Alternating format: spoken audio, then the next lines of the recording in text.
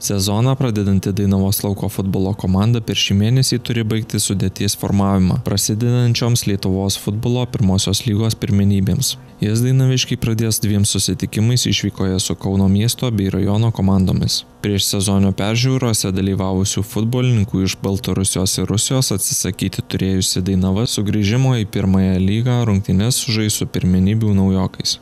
Dainaviškių sudėtyje nebus anksčiau su Alitume atsisveikinusių, o taip pat pajėgiausių lygos komandoms paskolintų žaidėjų.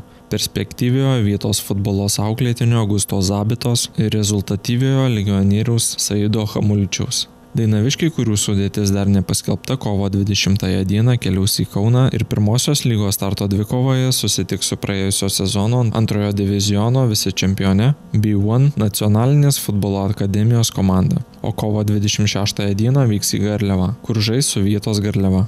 Dainaviškių vartus laikys vietos futbolo auklėtinis Airidas Mitskevičius, ankstesniuose sezonuose rungtyniavęs Kauno Žalgeryje ir Vilnių Žalgeryje.